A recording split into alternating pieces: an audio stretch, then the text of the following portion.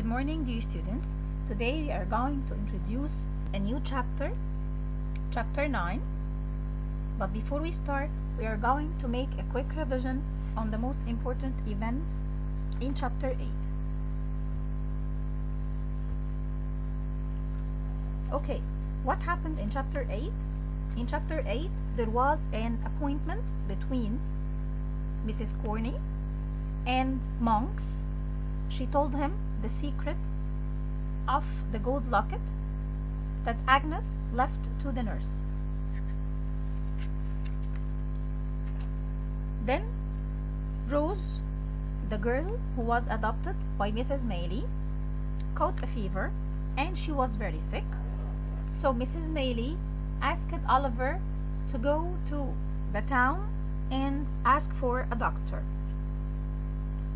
On his way home, he met Monks. He didn't know him, but he was very afraid of him. Now let's move to chapter 9. Please open your storybooks, page 36.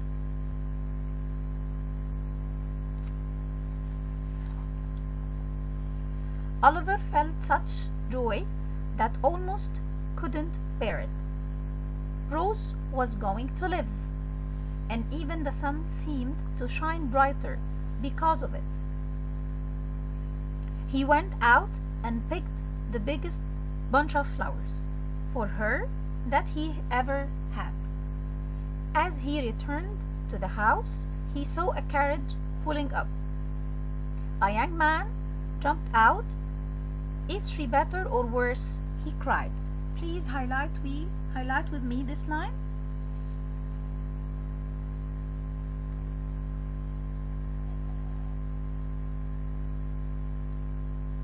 A young man jumped out. Better, much better, Oliver said, happy to give good news. He saw his own joy reflected in the young man's face. Who is this man? This man is Harry, Mrs. Maylie's son. He loves he loves Rose very much and he wanted to check if she's better or not. Let's describe him. He was about 23, tall and handsome. Oliver realized that this was Mrs. Maylie's son, Harry, whom he had posted the letter to. Harry stayed with them, waiting for Rose to recover. He insisted on coming with Oliver to pick flowers for Rose.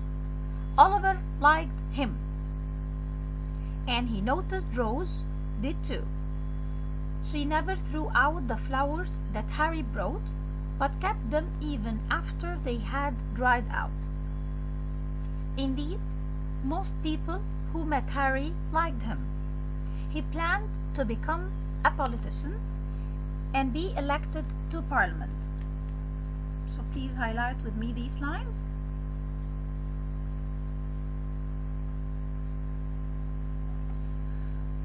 Those who knew him agreed that he would be he would probably succeed very soon. Let's move to the next paragraph.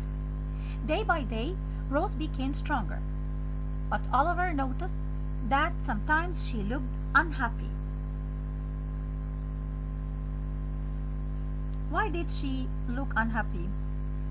Let's read the next paragraph to understand. Harry noticed this too, and he spoke to his mother about it. I must talk to Rose, he said. I love her. I have wanted to tell her so all my life, but I was waiting till I become rich or famous or successful. Highlight with me, please. But now I see how foolish it is to wait. If she had, I can't stay, I can't, I can't say the word. If she had not gotten better, I would have lost my chance forever. You can't imagine how I suffered thinking of that. Mrs. Maylie was quiet. I suppose you have suffered, she finally said. You suppose I have, cried Harry. How can I doubt it? I did, I did. You must know it. Listen, Harry. Rose deserves someone who will love her all her life. Please highlight with me.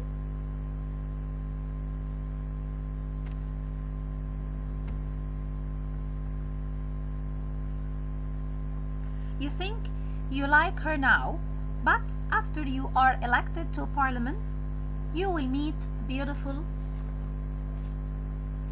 Turn the page, please. And interest, interesting women.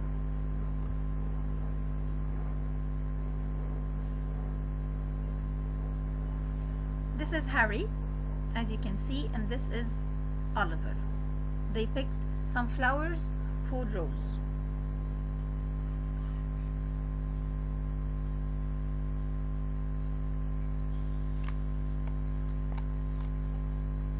an interesting woman You may regret marrying someone like Rose. So now Mrs. Maylie is advising her son. Rose, who is a poor orphan and used to a simple life, if you change your mind, you will break her heart.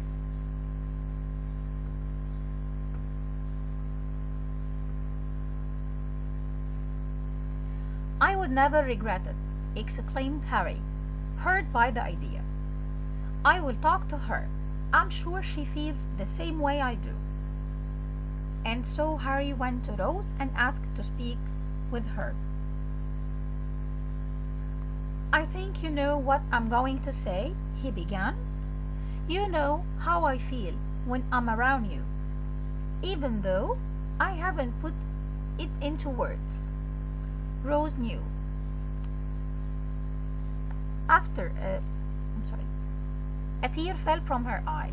I came here because of a terrible fear, the worst I have ever known. Harry continued. It was the fear of losing the woman whom I have loved my whole life.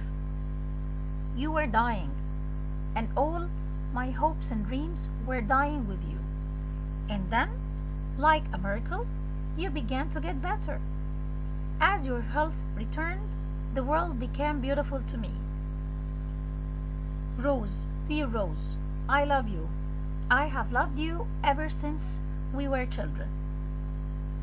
You have always been kind and good to me, said Rose, filled with emotion. Please hear my answer and don't think I am ungrateful. Your answer is that I may try to deserve you, isn't it, Rose? Harry said eagerly. My answer is that you must forget me. Rose said, I cannot marry you because there is a scandal connected with my family. Please highlight with me this line. It's very important line.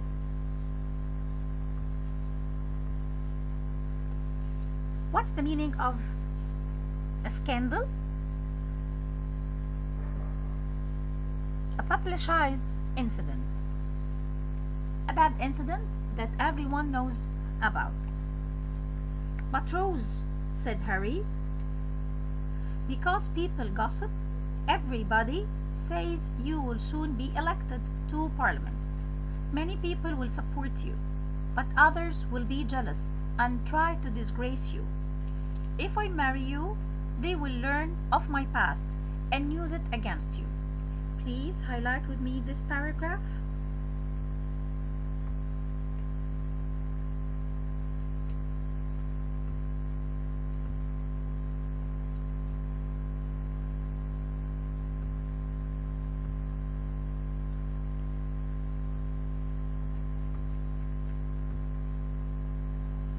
I don't understand, said Harry. So Rose told him her story. What is the story behind Rose? What is the scandal that Rose is afraid of? My mother died shortly after I was born. I had one sister who was much older than me. When I was five years old, my sister was about 19. She met a man who was living in the country. He was quiet and didn't have many friends. But my sister got along well with him. So soon they fell in love. They planned to marry, but then my sister's fiance had to go abroad suddenly. Then he died. Please keep highlighting with me this paragraph.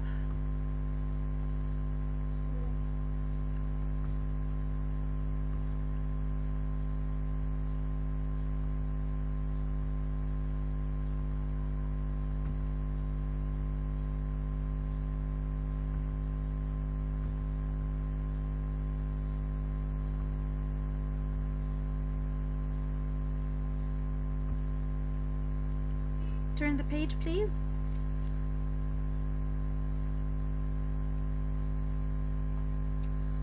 There he died of a fever.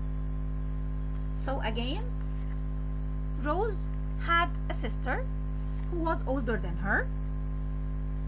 She married someone and he then he uh, had to travel to another country and there he died of a fever. He caught a fever there and died. To make things worse, a woman came to visit my father and sister. She told them that she was that man's wife and they had a son.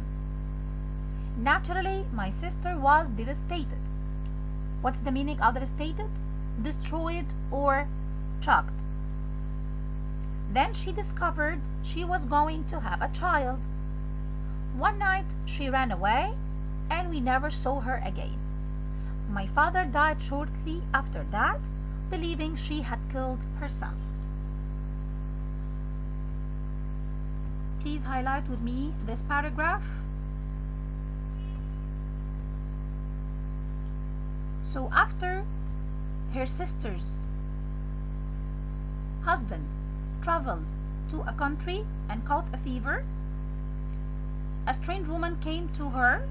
She told her that she is his wife as well and she had a son.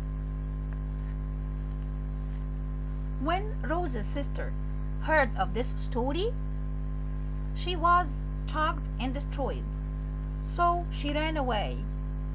Her father was so sad that he died shortly after that because he believed that her uh, his daughter killed herself. Let's continue. Rose paused after telling this sad story.